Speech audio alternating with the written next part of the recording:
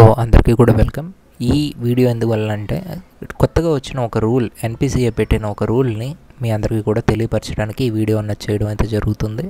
అలాగే ఈ ప్రాసెస్ ఎలా జరుగుతుందన్న వీడియో కూడా దీనికి అటాచ్ అయి ఉంటుంది. ఆఫ్టర్ మై వాయిస్ ఓవర్ ఆ వీడియో అనేది ప్లే అవుతుంది. అది చూడండి. ఓకే సో ముందుగా ఈ రూల్ ఎందుకంటే ఏఈపిఎస్లో జరిగే ఫ్రాడ్స్ని ఇంకా అన్ఆథరైజ్డ్ ట్రాన్సాక్షన్స్ని జరగనివ్వకుండా ఉండడానికి ఎన్పిసిఐ ఈ రూల్ని అయితే పెట్టింది. ఈ రూల్ ప్రతి ఒక్క సర్వీస్ ప్రొవైడర్కి అప్లికబుల్ ఓన్లీ ఈ సర్వీస్కి మాత్రమే కాదు.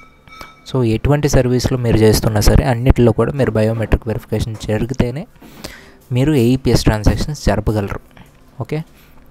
సో ఈ రూల్ అంతా కూడా ఎన్పిసిఏ పెట్టింది. గుర్తుంచుకోండి. సో బయోమెట్రిక్ అథెంటికేషన్ మీరు ప్రతిరోజు మీరు ఏఈపిఎస్ చేయాలి అంటే ఖచ్చితంగా మీరు తంబు వేస్తేనే ఆ ఏఈపిఎస్ సర్వీస్ యాక్టివేట్ అవుతుంది. మిగిలిన సర్వీసెస్ అన్నీ కూడా మీరు రెగ్యులర్గా యూజ్ చేసుకోవచ్చు. ఎస్పెషల్లీ ఏఈపిఎస్ మాత్రమే మీరు తంబు వేస్తేనే అవుతుంది.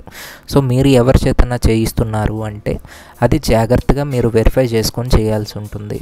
ఓకే? అండ్ ట్రాన్సాక్షన్ రిజిస్టర్ అన్నది కంపల్సరీగా మెయింటైన్ చేసుకోవాలి. ఎటువంటి సిచ్యువేషన్లో కంపెనీ మిమ్మల్ని అడిగినా సరే మీరు అది సబ్మిట్ చేసే విధంగా ఉండాలి. ఓకేనా అండి?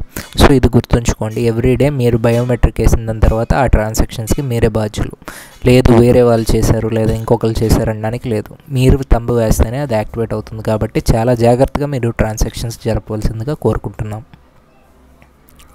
Hi guys welcome to Digi SevaPay ఈరోజు వీడియోలో నేను మీకు బయోమెట్రిక్ అథెంటికేషన్ ఏ విధంగా చేసుకోవాలి డైలీ ఫస్ట్ టైం లాగిన్ అయినప్పుడు అని చూపించబోతున్నాను. సో ముందుగా మన వెబ్సైట్కి వచ్చేద్దాం. యాప్ యూస్ చేసే వాళ్ళు యాప్లో లాగిన్ అవ్వండి.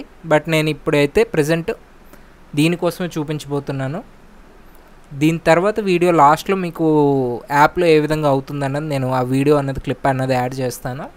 Okay so first of all DigiSevaPay dot co dot ఇన్కి వచ్చాం కదా. ఇక్కడ వచ్చిన దాని తర్వాత ఏఈపిఎస్ లాగిన్ చేసుకుంటాం. ఏఈపిఎస్ దాని తర్వాత ప్రొసీడ్ టు న్యూ లాగిన్ ఇక్కడ మీ యూజర్ ఐడి పాస్వర్డ్ ఇచ్చి లాగిన్ చేసుకుంటారు. ఓకే డైలీ వన్స్ ఓటీపీ వస్తుంది కదా. మీ అందరికీ తెలిసిందే.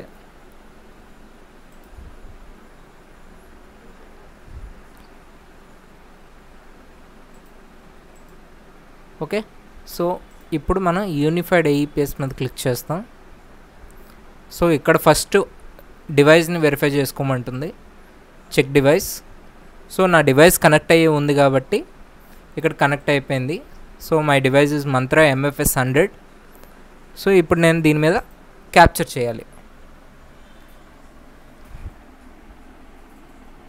నా తమ్ క్యాప్చర్ అయిపోయింది కదా. ఇప్పుడు ఏం చేస్తాం? సబ్మిట్ చేస్తాం.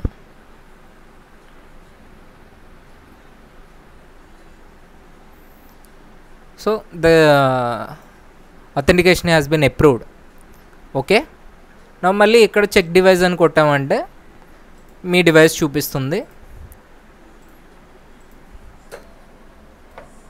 And once again